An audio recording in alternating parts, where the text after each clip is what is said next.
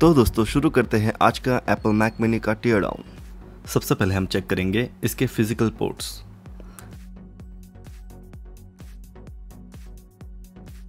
Front side में हमें मिल जाता है एक पावर एलईडी इंडिकेटर और बैक साइड में है इसके सारे आईओ पोर्ट्स सबसे पहले है पावर ऑन ऑफ़ स्विच यहाँ पर है पावर केबल कनेक्टर ये है 10 गीगाबिट का R J forty five ethernet port और यहाँ पर हमें मिल जाता है चार Thunderbolt three ports at forty G B P S ये है H D M I two point zero port supporting four K at sixty hertz यहाँ पर है दो U S B three point zero ports at five G B P S जिसके नीचे हमें मिल जाता है एक three point five M headphone jack और यहाँ पर है वेंटिलेशन ग्रिल जो हॉट एयर को बाहर की तरफ़ ब्लो करता है। और यह है इसका रिमूवेबल बॉटम पैनल जिस पर मैक मनी लिखा हुआ है। तो आइए शुरू करते हैं इसका डिसमेंटलिंग सबसे पहले हमें इसका बॉटम पैनल निकालना होगा, जिसके लिए हम यूज़ करेंगे एक नायलॉन स्टिक नायलॉन स्टिक को स्लाइड करना है गैप में, जिससे बॉटम पैनल इजीली बाहर निकल जाएगा। यहाँ पर हमें मिल जाता है एंटेना प्लेट जिसे निकालने के लिए हम यूज़ करेंगे। Torx T six security screw driver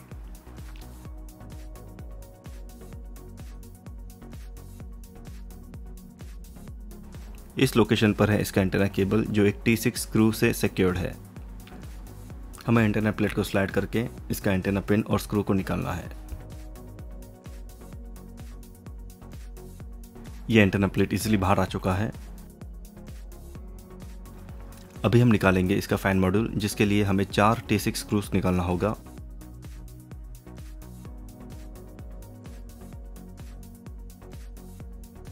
fan module के नीचे इसका कनेक्टर है तो हमें ध्यान से फ़ैन को लिफ्ट करना है और कनेक्टर को डिस्कनेक्ट करना है। यहाँ पर है इसका फ्रंट एलईडी कनेक्टर और यहाँ है power supply connector front LED connector को नाइलॉन स्टिक से ऊपर की तरफ़ पुल करके डिस्कनेक्ट करना है और पावर सप्लाई कनेक्टर को धीरे से ऊपर की तरफ़ लिफ्ट करके डिस्कनेक्ट करना है। अभी हमें लॉजिक बोर्ड से दो टॉक्स टी टेन स्क्रूस निकालना है। इसका लॉजिक बोर्ड निकालने के लिए हमें इससे बाहर की तरफ़ पुल करना है, जैसे कि आप वीडियो में देख सकते हो। इसका लॉजिक बोर्ड बाहर आ चुका है, इसे हम थोड़ी देर में डिस्कस करेंगे। अभी हम निकालेंगे इसका आखिरी कंपोनेंट जो है इसका पावर सप्लाई यूनिट सबसे पहले हमें इसका मेटल पिन निकालना है और पावर कनेक्टर को 90 डिग्री टर्न करना है। पावर सप्लाई निकालने के लिए हमें इस पर से तीन टॉक्स टी सिक्स स्क्रूस निकालना है और इसे बाहर की तरफ़ पुल करना है।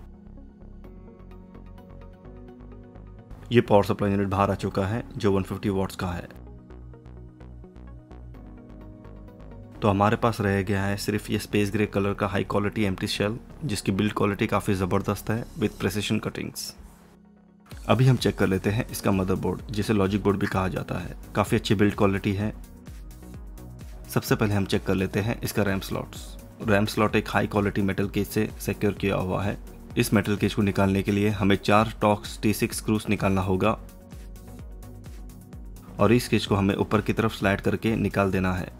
और यहाँ पर है रैम नॉचेस जो दो रबर गैसकेट से सेक्योर किया हुआ है, जिसे हम पुल करके निकाल लेंगे।